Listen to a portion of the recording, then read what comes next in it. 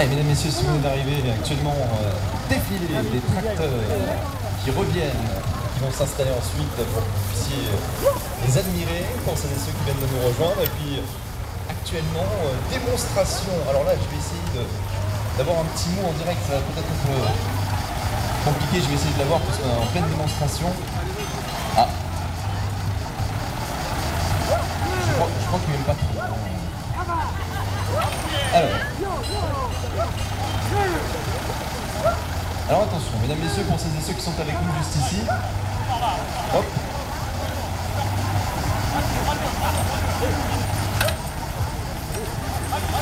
Alors vous avez les tracteurs d'un côté euh, en défilé et on a également une, une démonstration avec euh, la star de cette journée, c'est, alors je vais pas dire vous, c'est le blé.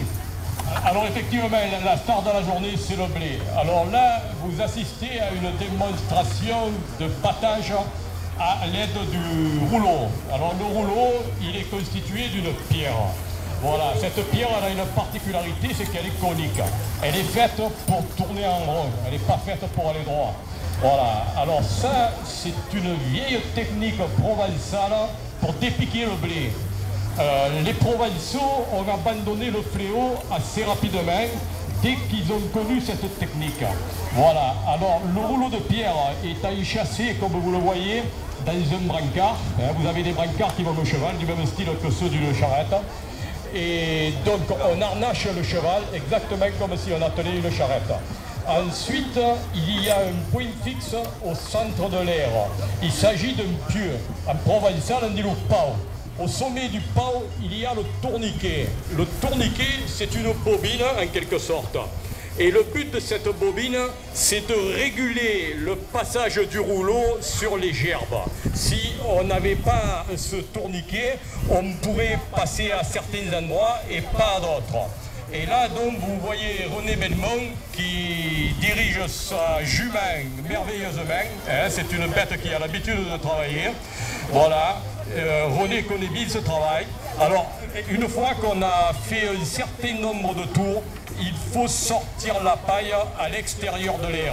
C'est-à-dire que cet après-midi, on prendra des fourches en bois et on sortira la paille à l'extérieur et vous pourrez constater que le blé qui a été battu, dépiqué par le rouleau et également à l'aide des pieds de la jument, euh, le blé reste sur le sol.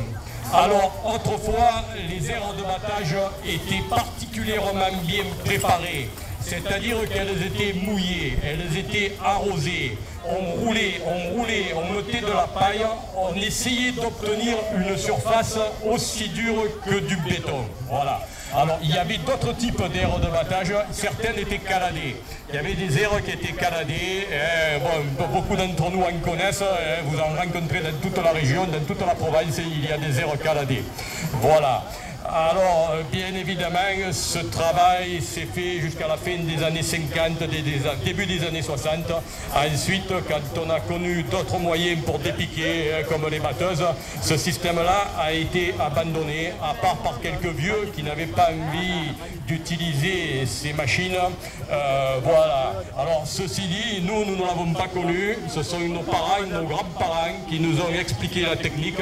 Alors, bonne chance, on n'a pas laissé tomber, mais bientôt, il n'y aura plus monde qui saura comment on dépique le blé en Provence dans quelques années. Alors, profitez bien. Voilà.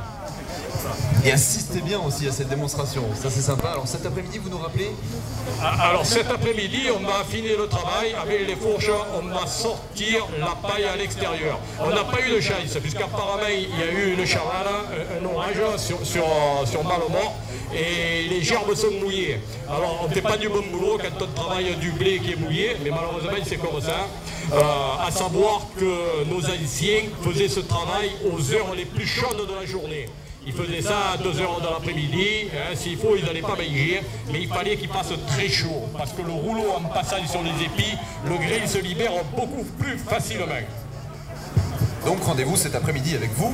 Et donc, mesdames, messieurs, vous l'avez compris, vous restez avec nous également pour déjeuner ce midi. Voilà, comme ça, vous restez avec nous toute la journée. Il y a de l'animation et puis euh, comme ça, vous avez toutes les étapes finalement qui vous sont proposées.